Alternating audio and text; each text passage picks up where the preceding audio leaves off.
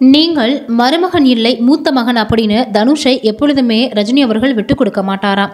இதை தெரிந்த ரஜினி அவர்களுடைய நெருங்கிய நண்பர்கள் இப்போ இதை பகிர்ந்துட்டு வந்துட்டு இருக்காங்க இந்த தகவல் தான் இப்போ சமூக வலைதளங்களில் ரொம்பவே தீயாக பரவி வந்துட்டு இருக்கு நடிகர் தனுஷும் சூப்பர் ஸ்டார் ரஜினிகாந்தின் மூத்த மகளான ஐஸ்வர்யாவும் கடந்த இரண்டாயிரத்தி நான்காம் ஆண்டு காதலித்து இரு வீட்டார் சம்மதத்தோட திருமணம் செஞ்சுக்கிட்டாங்க.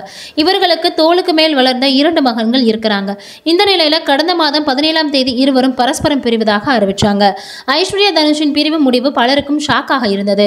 இருவரும் பிரிவு முடிவை கைவிட வேண்டும் என ரசிகர்கள் மட்டும் இல்லாமல் சினிமா பிரபலங்களும் பலரும் கோரிக்கை விடுத்து வந்தாங்க.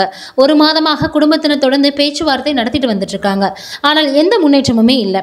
ஐஸ்வர்யா மீண்டும் சேர்ந்து வாழ விருப்பம் தெரிவித்த போதும் நடிகர் தனுஷ் தனது முடிவில் உறுதியாக இருப்பதால் இருவரும் சேர்ந்து வாழ கடினம்னு தகவல் வெளியாகி இருந்தது இதனால் நமக்கு என்று இருப்பது நமக்கு கிடைக்கும்னு ஐஸ்வர்யாவும் தனது பெயருக்கு பின்னால் இருந்த தனுஷ் பெயரை நீக்கிவிட்டு ரஜினிகாந்த் பெயரையே சேர்த்திருக்கிறாங்க.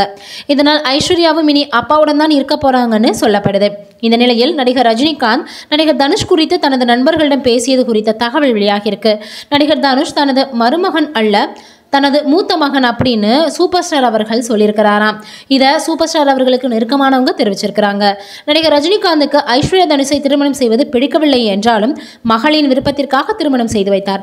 இருந்தாலும் ஒரு இடத்திலும் நடிகர் ரஜினிகாந்த் தனுஷை விட்டு கொடுத்ததே இல்லைன்னு அதோட தனது மூத்த மகனாக தான் நடிகர் ரஜினிகாந்த் நடத்தினார்னும் அவர்களுக்கு நெருக்கமானவங்க தெரிவித்து வந்துட்டு இருக்காங்க மாமனார் மருமகன் உறவு நன்றாக இருந்தாலும் கூட கணவன் மனைவி அவர்களினுடைய புரிதல் அப்படின்றது இங்கே இல்லையோ அப்படின்னு தான் நம்மளுக்கு இந்த மாதிரியான விஷயங்களை கேட்கும்பொழுது தோணுது.